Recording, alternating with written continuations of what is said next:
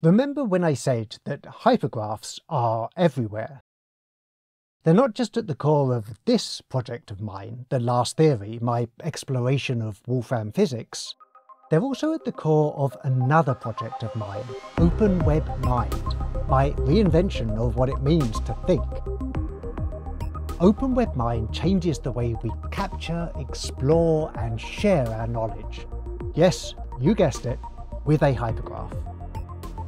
If you want to know more, check out the two minute introduction on my new Open Web Mind channel.